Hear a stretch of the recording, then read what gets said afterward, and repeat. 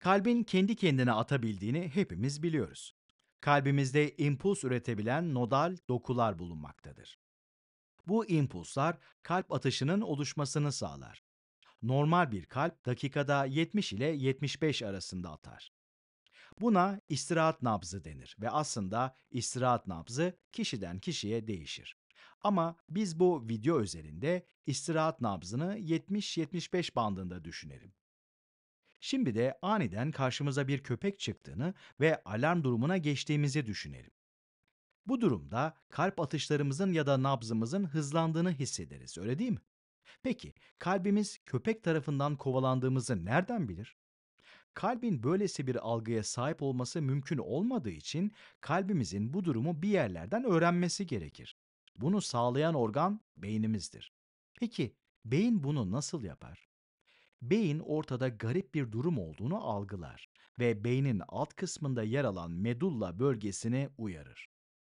Medullada kardiyovasküler merkez adı verilen bir nöron grubu bulunmaktadır. Ve bu kardiyovasküler merkezden çıkarak doğrudan kalbe ulaşan bir sinir vardır. Bu sinir kalbe nörotransmitter adı verilen bazı kimyasallar salgılar. Burada sözü geçen özel nörotransmitterin adı epinefrindir. Ve epinefrin kalp atış hızını yani nabzı arttırır. Nabzın böylesi bir alarm durumunda artmasının sebebi nedir diyecek olursanız, nabız artması dolaşımı hızlandırır. Ve eğer kaçmamız gereken bir durumla karşı karşıyaysak, kaslarımızın enerji üretebilmek için oksijen ve kana ihtiyacı artar. Evet, nabzın artmasının sebebi budur. Kalbe epinefrin salgılayan sinir, sempatik sinir sisteminin bir parçasıdır. Sempatik sinir sistemi de acil durumlarda etkin olan sistemimizdir. Peki, olay olup bittikten sonra kalbimiz normal nabzına nasıl geri döner? Bunu sağlayan da yine beyindir. Beyin, tehlikenin geçtiği mesajını veren bir sinyal gönderir. Yine medulladan çıkan ve doğrudan kalbe giden bir sinir daha vardır. Bu sinir de kalbe asetilkolin adı verilen farklı bir nörotransmitter salgılar. Bu arada kalbe nörotransmitter salgılar derken salgılama işleminin aslında videonun başında bahsettiğim nodal dokular üzerine yapıldığını da eklemek isterim. Nodal dokular, impulsları kontrol ederek kalbin kasılmasını ve gevşemesini sağlayan merkezler oldukları için nörotransmitterlerin bu dokular üzerine salgılanması da son derece mantıklı. Asetilkolin, epinefrinin aksine bu dokuların sakinleşmelerini yani nabzı düşürmelerini sağlar. Nabzın düşmesini sağlayan sinir, parasempatik sinir sisteminin bir parçasıdır. Parasempatik sinir sistemi, dinlenme durumundayken etkin olan sinir sistemi olarak düşünebiliriz. Sempatik ve parasempatik sinir sistemleri hakkında daha fazla bilgi vermemizi isterseniz, bu ikisi otonom sinir sisteminin birer parçasıdır. Peki, otonom sinir sistemi nedir diyecek olursanız onu da kısaca açıklayayım. Bu sinir sistemi vücudumuzda istemsiz olarak çalışan organlardan sorumludur. Kalbimiz, midemiz ya da bağırsaklarımız gibi. Otonom sinir sistemi neymiş? Vücudumuzdaki istemsiz çalışan organ ya da kısımlardan sorumlu olan sinir sistemiymiş. Ve az önce de söylediğim gibi acil durumlarda etkin olan sempatik sistemi ve istirahat durumlarında etkin olan parasempatik sinir sistemi de otonom sinir sisteminin birer parçasıdır. Kalbin sinirlerle kontrolünün yanı sıra bir de hormonlar tarafından kontrol edilmesi söz konusudur.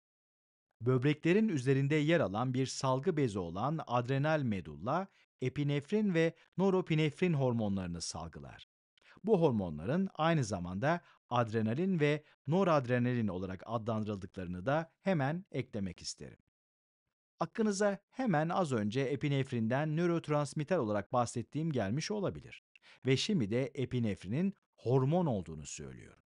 Epinefrin hem hormon hem de nörotransmitter olarak davranabilen bir moleküldür. Peki hormon olarak davrandığı durumda ne olur? Hormonlar kan dolaşımına salgılanır ve kan dolaşımına salgılanan bir maddenin kalbe ulaşması için belirli bir zaman geçmesi gerekir. Bu söz ettiğim zaman çok da uzun değil ancak epinefrin nörotransmitter olarak davrandığında kalbin üzerindeki etkisi hemen o anda gerçekleşir. Kan dolaşımıyla kalbe ulaşması gereken hormonun etkisi ise bu anlamda biraz gecikmelidir. Ama yarattığı etki kan dolaşımında kalması sebebiyle daha kalıcıdır. Hormon etkisi nedeniyle tehlike bitmiş olsa bile kişinin nabzı yüksek kalacaktır. Epinefrin ve norepinefrin hormonları savaş ya da kaç hormonları olarak bilinirler.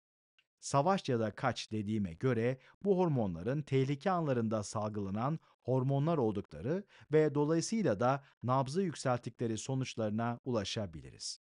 Bu arada epinefrin ve norepinefrin isimleri sakın kafanızı karıştırmasın. Bu hormonlar sanılanın aksine birbirine zıt çalışan hormonlar değil, aslında benzer şekilde çalışıyorlar. Evet, hormonların nabız üzerindeki etkisini gördük. Ama kalbimizin yalnızca tehlikeli durumlarda daha hızlı attığının doğru olmadığını biliyoruz. Örneğin çocukların kalpleri genelde yetişkinlerin kalplerinden çok daha hızlı atar. Kalp atış hızı kalbin boyutuyla da yakından alakalıdır. Ek olarak metabolizma üzerindeki etkili olan hormonlardan da bahsetmemiz gerekir. Metabolizmanın yükselmesi de nabzı yükseltebilir.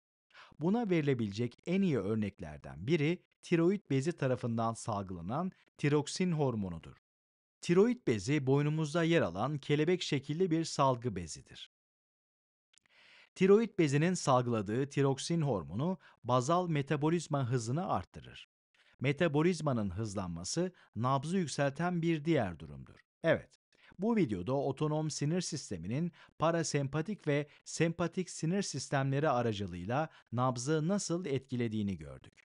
Sempatik sinir sistemi nabzı yükseltirken parasempatik sinir sistemi nabzı düşürüyordu.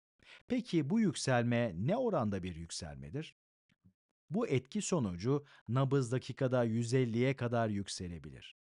Bunun normal olmadığını ve yalnızca tehlikeli durumları ya da örneğin koşu yaparken söz konusu olduğunu bir kere daha hatırlatmak istiyorum. Parasempatik sinir sistemi tarafından salgılanan asetilkolin ise nabzı normal seviyesi olan 70 ila 75'e geri çeker. Bunların yanı sıra tiroksin, epinefrin ve norepinefrinin nabız üzerindeki etkilerini de öğrendik.